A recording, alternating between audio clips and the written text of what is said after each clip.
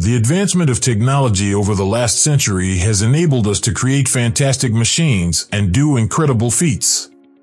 For example, it has enabled us to travel to the moon and to generate nuclear energy on Earth. The LHC, or Large Hadron Collider, is one of the most extraordinary machines ever developed by humans. Do you want to learn more about it and how it works? Watch this video and I'll explain. Hello and welcome to Zeey.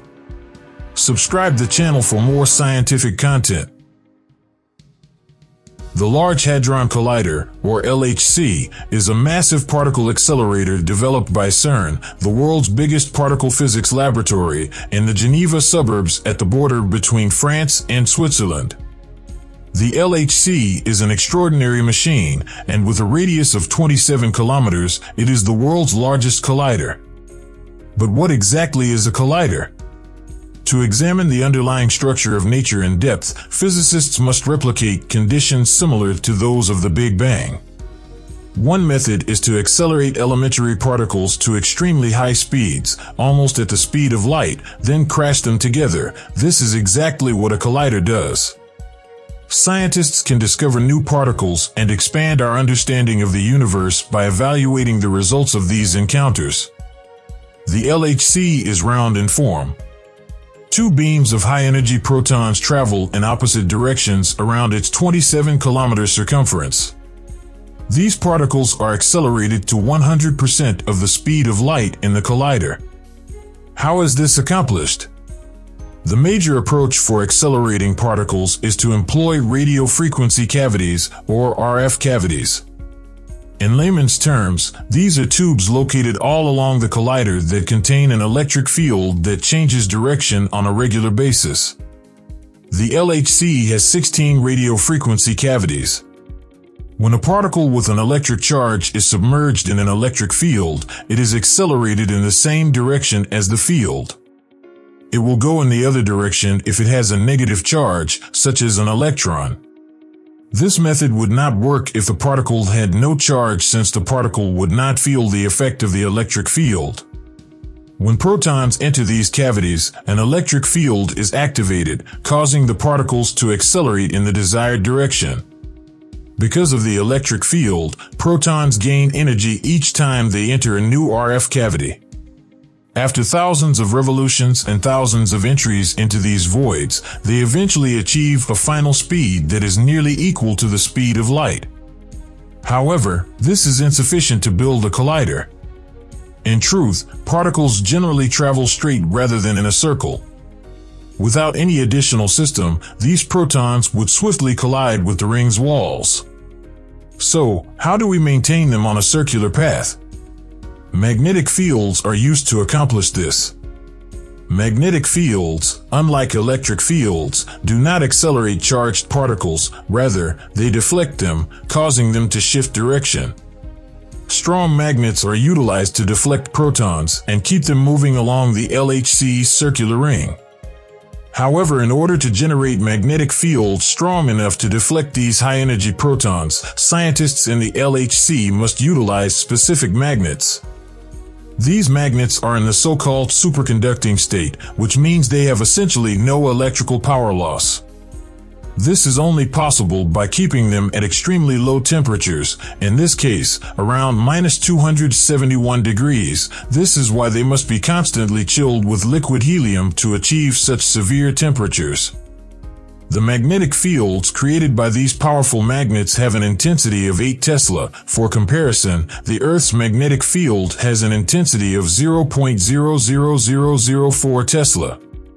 Scientists are able to keep the proton beams on their circular course thanks to the thousands of magnets installed all throughout the ring.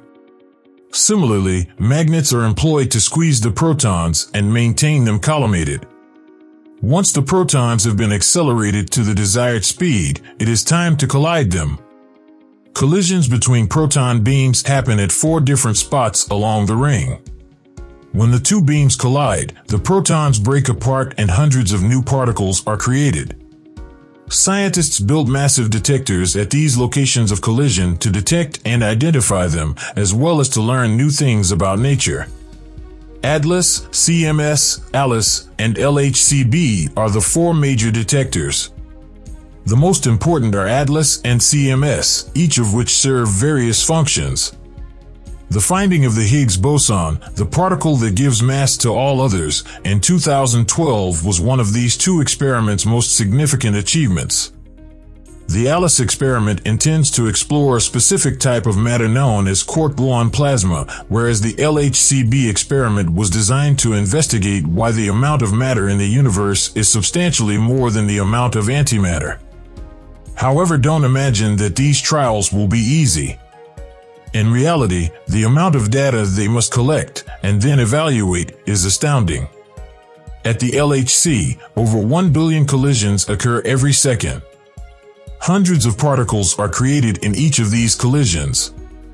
As a result, recording all of the occurrences is unfeasible, otherwise, the CERN computing system would quickly run out of room, so these detectors must select and record only the interesting events inside this pandemonium. Indeed, more than 99.99% of the events created by a collision at the LHC are instantly eliminated, leaving only the remainder for investigation. Even with this system, the LHC records more than 1 million gigabytes of data every day on average. But how do scientists make use of this information? So far, we've seen how proton beams clash in the LHC. But how are the collision-generated data used? Hundreds of particles are created during each collision. Many of them, however, are not interesting to scientists. Their goal is to find new particles in this chaos. The detectors come in handy here since their sensitivity allows them to identify only the potentially interesting particles created at the impact point. Each of the four detectors is made up of numerous subdetectors, each of which serves a specific purpose. CMS, for example, has a tracker subsystem whose goal is to track the trajectory of the particles created by the collision. This tracker is made up of multiple silicon layers, and when a charged particle strikes one of them, a trace is left behind. It is feasible to recreate the particle's whole course from the collision location by checking all of the hits left by the particle on the levels of the tracker. The calorimeter is another CMS subdetector whose goal is to measure the energy released by the colliding particles. It is composed of unique crystals of a specific substance, lead tungstate. This substance emits a cascade of electrons and light when a particle travels through it. Scientists can deduce the particle's starting energy by measuring the amount of light produced. Scientists can get a wealth of information about the particles created in collisions thanks to these specialized subdetectors. What happens next? Finally, they analyze the data. The analysis's purpose can vary. One of the objectives could be the finding of a new particle, for example.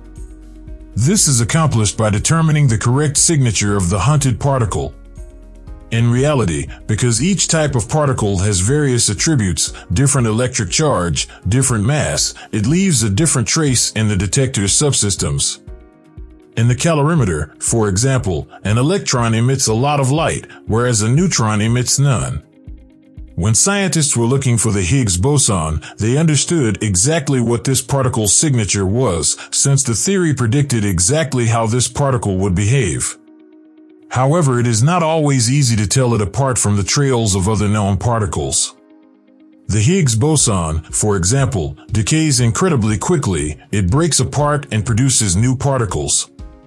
Because this process is so quick and takes place so near to the collision point, when a Higgs boson is created, it decays before it reaches the detector.